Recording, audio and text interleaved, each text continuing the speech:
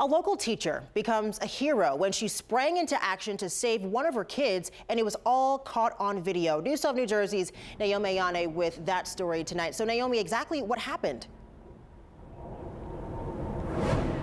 Oh my goodness, Brittany, wait till you see this, I mean, astonishing video, really just shocking stuff. Janice Jenkins uh, is, has, she's been a teacher for 14 years and she is a hero indeed and even a superhero according to her student. And never did she think she would have to use her life-saving skills in her classroom.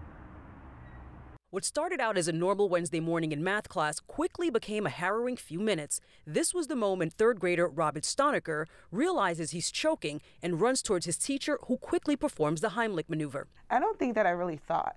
I think I just was like, he needs my help.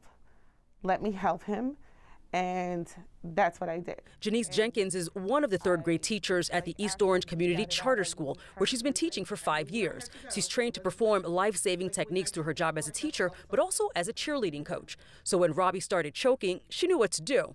And here's how it happened. You can see Robbie attempt to open the bottle of water with his hands with no success. And then he tries it with his mouth. I went to the top and then I squeezed it, and then the water pushed on the bottle, and then it squirted the cap into my throat. He then runs to the sink attempting to get it out, and when that doesn't work, he runs to Ms. Jenkins. And I started pointing at my throat, and then she noticed I couldn't talk, because if I could talk, I would have said it. I wouldn't point to my throat. You can see the bottle cap pop out of Robbie's mouth after just a few seconds of Ms. Jenkins administering the Heimlich. And Ms. Jenkins is just thankful that her training was effective. As the thoughts started to come into my head, I was starting to get emotional. I was starting to just get like, what could have happened, how scary that would have been. And I just was like thankful that he was okay. And as for Robbie, who's into superheroes, says Ms. Jenkins is his new favorite superhero. And here's what he thinks about her. How do you like her as a teacher? One million percent.